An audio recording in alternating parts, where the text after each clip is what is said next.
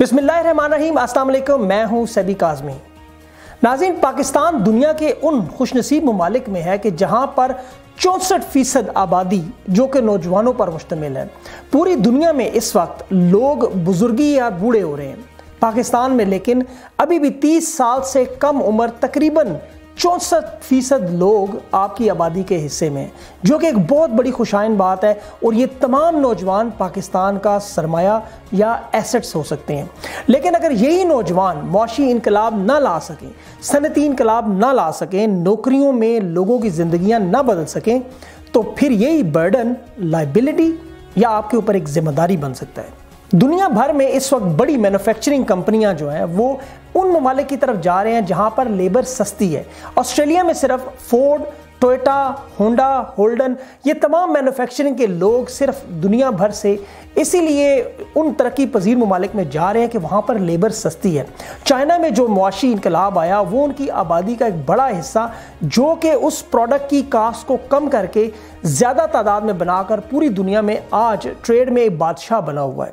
یہ اسی لیے بنا کہ ان کے نوجوان اس وقت تیار تھے اس معاشی اور صنعتی انقلاب کے لیے۔ آج کل آپ پاکستان میں ایک لال انقلاب، سرخ انقلاب کا ذکر سن رہے ہوں گے، سوشل میڈیا پر دیکھ رہے ہوں گے۔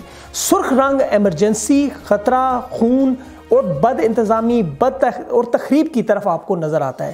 یہ رنگ کبھی بھی پاکستان کے جھنڈے کا اسی لیے نہیں رہا۔ پاکستان کے جھنڈے میں سبز رنگ، امن اور سلامتی جو ہمارے مذہب کی پہچان ہے، وہ رہا ہے۔ لیکن یہ لوگ کون ہیں؟ آخر یہ لوگ کس طرح کارل مارکس اور لینن کے اس فلسفے سے متاثر ہوئے کہ جو ان ممالک میں جن سے یو ایس ایس آر بنا، بل شویک نامی آرگنائزیشن نے محنت کشوں کو اس وقت روس میں استعمال کر کے لال انقلاب کے نام سے بنیاد رکھی۔ لیکن پاکستان میں تو اس طرح کے حالات بالکل نہیں ہیں۔ پاکستان میں برسر اقتدار پارٹی نوجوانوں کی پسندیدہ پارٹی ہے۔ جماعت کو اسی لیے اقتدار ملا کہ اس میں بڑی تعداد میں وہ لوگ شامل تھے جو نوجوان تھے۔ عمران خان، وزیر اعظم پاکستان بار بار اپنی تقریری شروع نوجوانوں سے کرتے ہیں۔ تو پھر یہ لوگ کون ہیں جو لال انقلاب کے نام پر آئے ہوئے؟ کیا یہ لوگ وہ ہیں جو ابھی مولانا کے جلسوں میں آیا کرتے تھے؟ کیا یہ لوگ وہ ہیں جو ٹویٹر پر یا سوشل میڈیا پر ففتھ وار کا حصہ بن کر پاکستان اور اس کے اداروں کو ڈی سٹیبلائز کرنا چاہتے ہیں، پاکستان میں انارکی پھیلانا چاہتے ہیں؟ کیا یہ وہ لوگ ہیں جو ترکی، شام اور عراق اور اس طرح کے جو ممالک ہیں، ان میں ہوئے ہوئے مسائل کو پاکستان میں لانا چاہتے ہیں۔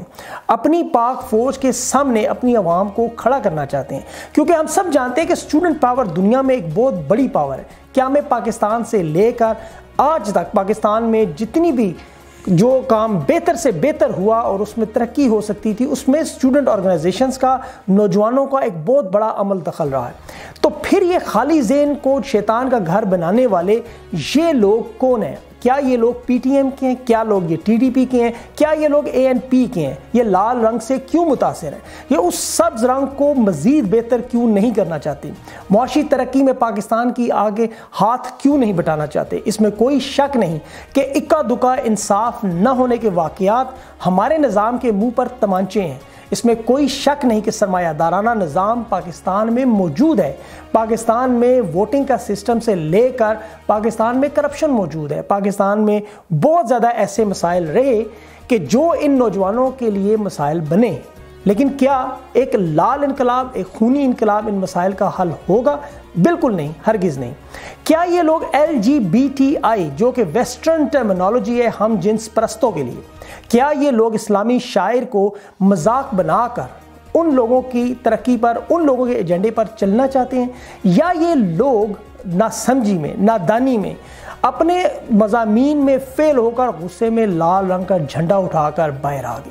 کیا ان کو لگتا ہے کہ لیدر کی جیکٹس پہن کر چھوٹے چھوٹے بال کٹا کر آپ جذباتی نعرے لگا کر وقتی طور پر اپنی فرسٹریشن کو نکالیں اور لال انقلاب کے نام سے ان لوگوں کے ہاتھ مضبوط کریں جو اداروں کو ناکام کرنا چاہتے ہیں، جو پاکستان جو اب پٹڑی پر چل رہا ہے سٹاک ایکسچینج بہتری کی طرف جا رہی ہے، ملک میں بہتری آ رہی ہے، اس میں یہ لال رنگ ثابت کیا کرتا ہے؟ یہ وہ تمام سوالات ہیں جو اس وقت سوشل میڈیا پر انفلوئنسر وہ لوگ جو جانتے ہیں وہ اس وقت ڈھونڈنا چاہتے ہیں کہ میں خود اسٹوڈنٹ آرگنائزیشن کا حصہ رہا۔ انیس سو چورانوے، چھیانوے سے تک میں باقاعدہ طور پر اسٹوڈنٹ آرگنائزیشن میں رالپنڈی کی سڑکوں پر اس طرح کے جذباتی نعرے لگا چکا ہوں۔ اس لیے میں جانتا ہوں کہ نعروں کے پیچھے کھوکھلی اور سیاست کے ان لوگوں کا ایجنڈا کے علاوہ کچھ بھی نہیں۔ نوجوانوں کو ترقی کرنی ہے تو اوبر کریم کے سی ای او کو دیکھیں۔ نوجوانوں کو ترقی کرنی ہے، اس چوکیدار کو دیکھیں کہ جس نے اپنے پیسوں سے جہاز بنا کر اڑا اڑایا آپ نے ترقی کرنی ہے، آپ اپنی معاشی ترقی کریں، صنعتی ترقی کریں، اپنی تعلیمی میدانوں میں ترقی کریں۔ آپ بیٹھ کر اپنے لون میں مذہب کی بات کریں، سیاست کی بات کریں، اس لوگوں کو جوڑنے کی بات کریں، لوگوں کو توڑنے کی بات نہ کریں۔ آپ کے نعرے درست ہیں، لیکن ان پر جو عمل کروانے والے ہیں، وہ لوگ ٹھیک نہیں ہیں۔ اسی طرح حسن بن سبا نے اس وقت نوجوانوں کو استعمال کیا جھوٹی جنت دکھائی۔ ایک طرف اگر مغرب الزام لگاتا ہے کہ مدرسوں میں جو لوگ ہیں وہ برین واش ہوتے ہیں، تو کیا یہ لوگ بھی برین واش تو نہیں ہو رہے؟ یہ وہ تمام سوالات ہیں جو اس وقت ہم سوچتے ہیں۔ ان سوالات کا ہم اس وقت جائزہ لینے کی کوشش کرتے ہیں۔ انیس سو اکیاون میں بھی یہ کوشش ہوئی۔ فیض احمد فیض کے نام سے کچھ لوگوں نے مل کر جسے پنڈی کیس بنا کر اس وقت ختم کیا گیا۔ آج پھر یہ لوگ فیض کی نظمیں، فیض کے نغمے گا کر لوگوں کو جذبات کو بھڑکاتے ہیں، لیکن درے پردہ مقاصد کچھ ہو رہے ہیں۔ نیوز کے ایک نوجوان اینکر عمران خان صاحب، جو کہ انہوں نے بھی ریسنٹلی ایک ٹویٹ کی کہ اگر اصل طالب علم سامنے آ گیا تو یہ جھوٹے طالب علم بھاگ جائیں گے۔ ان کی اس ٹویٹ کے بعد میں نے سوچا ان سے بات کرتے ہیں۔ ان کے خیالات آپ تک پہنچاتے ہیں۔ میرے ساتھ میں ملتے ہیں ایک بریک کے بعد۔ عمران بھائی قیام پاکستان سے لے کر آج تک سٹوڈنٹ آرگنائزیشن کا سٹوڈنٹس کا ایک بڑا عمل دخل رہا؟ لیکن یہ جو لال انقلاب، سرخ انقلاب کے آج کل آپ کو سوشل میڈیا پر نظر آ رہا ہے، آپ اس ساری چیز کو کس طرح دیکھ رہے ہیں؟ دیکھیے اسٹوڈنٹس جو ہیں وہ بڑے قابل احترام ہیں اور اسٹوڈنٹ یونین سے بڑے اچھے زبردست سیاستدان نکل کے آئے ہیں پاکستان میں اور انہوں نے پاکستان کی سیاست میں بڑا فعال کردار بھی ادا کیا ہے۔ لیکن انفارچونیٹلی پچھلے بہت لمبے عرصے سے اسٹوڈنٹ یونین کو پہلے تو استعمال کیا سیاستدانوں نے اور مختلف گنڈا عناصر نے اپنے فائدے کے لیے۔ کیونکہ طلبہ جذباتی ہیں ان کو کسی بھی کام پہ وہ لگاتے تھے۔ یہاں بہت سارے کالجز ایسے ہیں جو بدنام ہو گئے کہ یہاں پہ گنڈا گردی اور بدماشی ہوتی ہے۔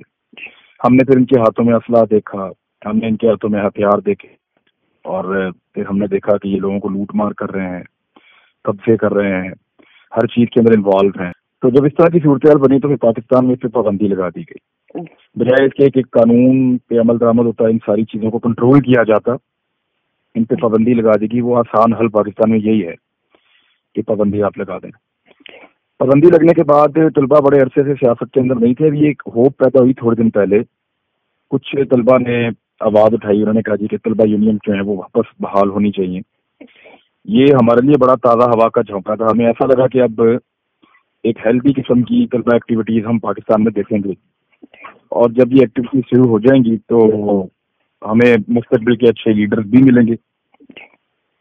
ہم یہ ایکسپیکٹ کر رہے تھے بیسیکلی لیکن پھر ہم نے ان کی جب ایکٹیویٹیز دیکھی اور بلکہ ہم خوش تھے ہمیں یہ لگ رہا تھا کہ گورنمنٹ کنٹرول کر لے گی اور گنڈا گردی نہیں ہونے دے گی۔ میں نے ایک ٹویٹ بھی اس پہ کیا تھا اور یہی میں نے کہا تھا کہ یہ بڑی ایک ہیلدی چیز ہے اور یہ ایکٹیویٹیز ہونی چاہیے، لیکن اس کے اندر وہ سب نہیں ہونا چاہیے جو ماضی میں ہوتا رہا تھا، اس کو کنٹرول ہونا چاہیے ساتھ ساتھ۔ لیکن جب ہم نے یہاں پہ تقاریر سنی اور مختلف لوگوں کو دیکھا۔ تو میں نے محسوس کیا کہ خاص قسم کا طبقہ ہے خاص قسم کے لوگ ہیں جو خاص قسم کے ایجنڈے پہ اکٹھے ہوتے ہیں۔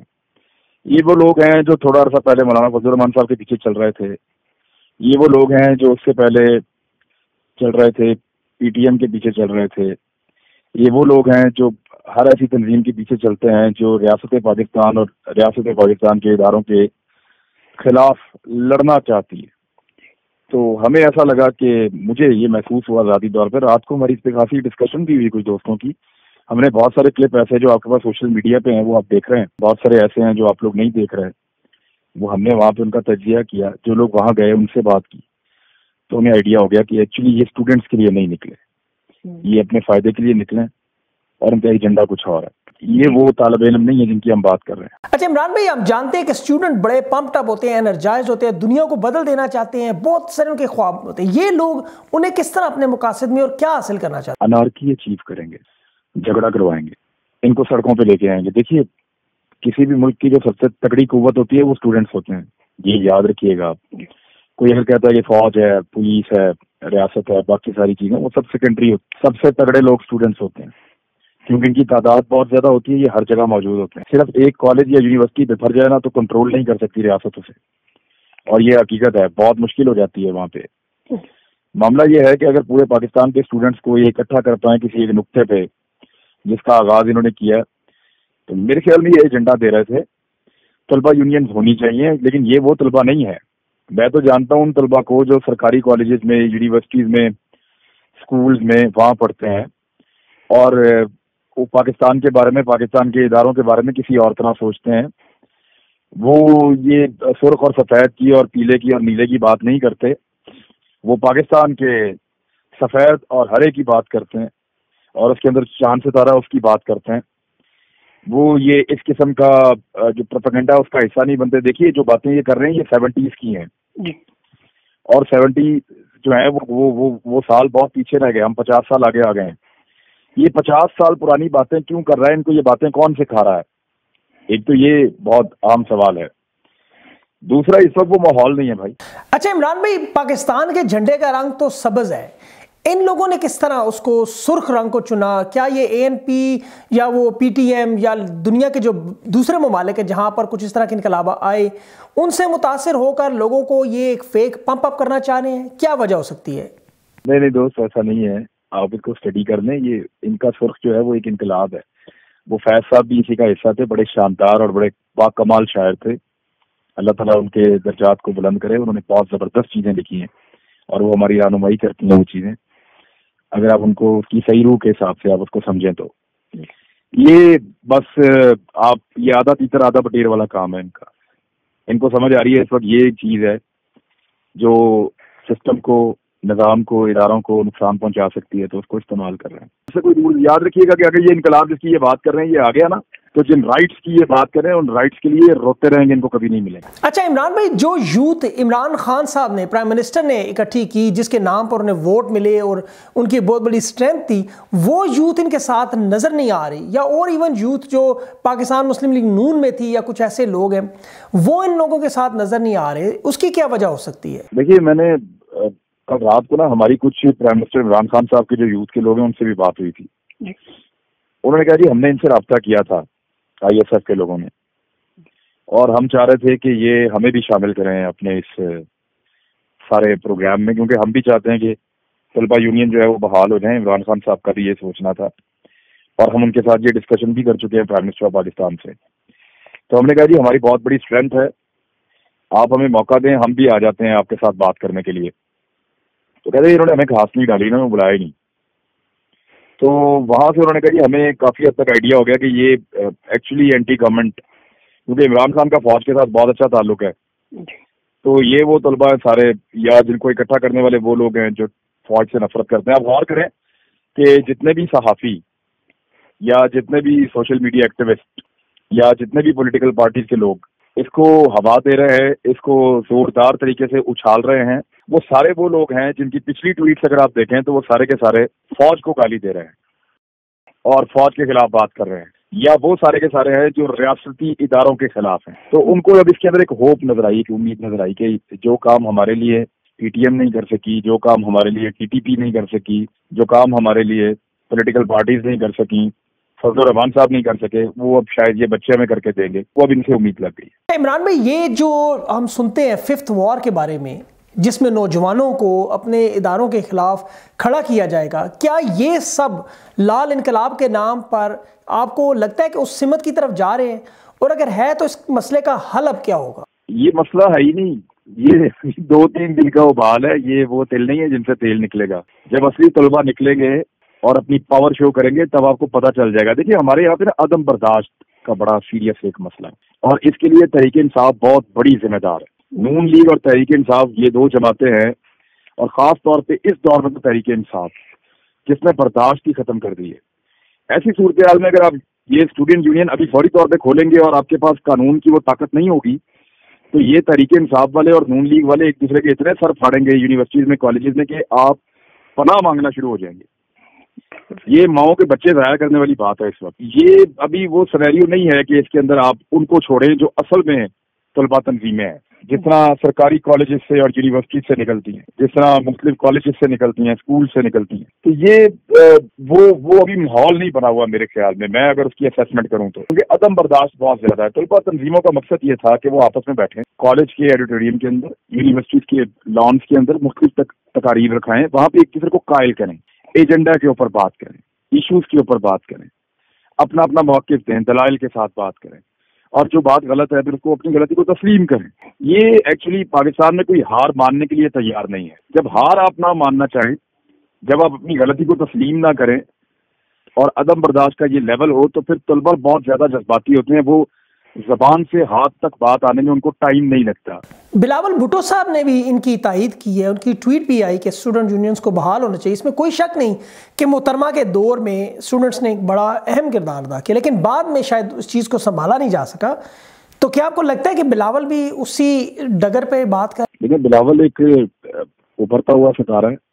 اور ان کی سیاست میں بہت میچورٹی آئی ہے۔ وہ بہت اچھی پالیٹکس کر رہے ہیں، لیکن انفارچونیٹلی ان کے ساتھ بہت ساری ایسی چیزیں جڑی ہوئی ہیں جو اگر کسی سیانے اور پرانے لیڈر کے ساتھ بھی جڑی ہوئی ہوں تو وہ بھی مصیبت نہیں ہوتا ہے۔ لیکن بلاور سے امید کر سکتے ہیں کہ وہ پاکستان میں ایک اچھی سیاست کی بنیاد رکھیں گے۔ اب پیپلز پارٹی کا جو جو بنیادی نظریہ ہے وہ لیفٹسٹ ہیں بیسیکلی پرانا جو ان کا نظریہ ہے۔ تو ان کے پرانے نظریے سے، حالانکہ ابھی اس وقت وہ سارے کے سارے خود سرمایہ دارانہ نظام کے اندر پوری طرح گھیرے ہوئے ہیں۔ ان کی پوری پارٹی آپ دیکھ لیں سرمایہ داروں کے قبضے میں ہے جاگیرداروں کے قبضے میں ہے زمینداروں کے قبضے میں ہے لیکن پھر بھی جو ان کا بیسک نظریہ تھا، جو بھٹو صاحب نے دیا تھا اس وقت، وہ ان کا وہ دیور لیفٹسٹ اور وہ اسی طرح سوچتے تھے جیسے سرخ انقلاب والے سوچتے ہیں۔ تو ان کو وہ پکچر بڑے عرصے بعد دکھائی دی ہے۔ تو آبیس ہے کہ پیپلز پارٹی کے پرانے لوگ وہ یہ کہیں کہ یہ وہی ہے جو ہم کہتے تھے یا جو ہم چاہتے تھے۔ لیکن ایکچولی اس وقت یہ اس کا مقصد جو ہے کوئی انقلاب لانا نہیں ہے۔ یہ اداروں کے خلاف مجھے ایسا لگتا ہے کہ اس کو فیوچر میں استعمال کیا جائے گا۔ ناظرین، آپ نے آج کا پروگرام دیکھا، آپ نے عمران خان اینکر صاحب کی باتیں بھی سنی انقلاب بہت ضروری ہے، لیکن معاشی، صنعتی، جس میں لوگوں کی زندگیوں میں تبدیلیاں آئیں، وہ گراس روٹ لیول سے لے کر اوپر لیول تک سب کے ساتھ آئے۔ ڈیبیٹ ہو، ایک عملی انداز میں سیاست میں نوجوان خاص طور پر طلباء نظر آئیں۔ یہ انقلاب ہوگا جس میں انشاءاللہ پاکستان کی ترقی ہو۔ ہم مزید آگے بڑھیں، نہ کہ یہ انقلاب ہو کہ جس سے ہم ایک فتنے کی طرف جائیں۔ پروڈیوسر جمیل حسین کے ساتھ ٹیم صاحبی کاظمی کو اگلے پروگرام تک کے لیے اجازت دیں۔ خدا حافظ۔